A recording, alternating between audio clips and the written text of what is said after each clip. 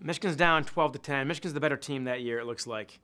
And they're down there the last bit, last few seconds. 33 yard field goal, but from a rotten angle. You're on the far hash mark, and you're also in close. So when the ball's in the 16 uh, and you're kicking this field goal, that is about the worst place to be. Farther back would probably be easier for Lantry in this case. But you're lined up, and the Michigan bench is right behind you.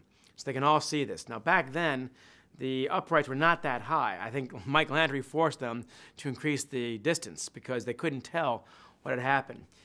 They line it up, they kick the kick. He boots all of it, man. He hammers this thing. So much adrenaline going, I'm sure he just put his whole weight into that thing. He kicks it so high that the refs can't tell if it's good or not. Everyone's watching this thing, of course. And they wait for an agonizingly long time they seem to look back and forth. And as Bo told me, let me tell you right now, those refs knew where they were refing. They were refing in Columbus that game, and that mattered. Who can say? But they wait, they wait and wait, and they finally look at each other and go, no good. He had missed by inches, they claimed. I've seen that thing on tape, and the tape's not perfect. I have seen letters from Ohio State fans sitting in that section to Mike Lantry and to Bo Schembechler. And they all said the same thing that that kick was good.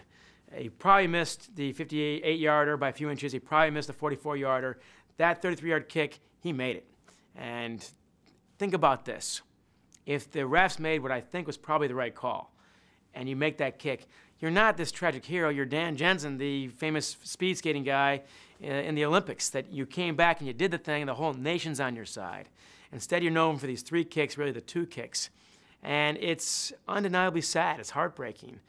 More heartbreaking than that was seeing Mike Lantry on the bench by himself, head down in his white jersey, and no one consoling him, which is not like Michigan, I would say. Probably want to leave him alone to his thoughts. But the cruel part was there's 16 seconds left, and you got to play him out, and the camera's on you with your head down. That has to be eh, about as sad as football gets. One of the saddest scenes I've ever seen. He got letters from Buckeye fans not only saying that he'd made the kick, but also saying that our heart went out to you at that time. Woody Hayes says this after Ohio State wins the game. Woody Hayes is not known for his compassion uh, in victory or defeat. For him to say that says a lot, I think.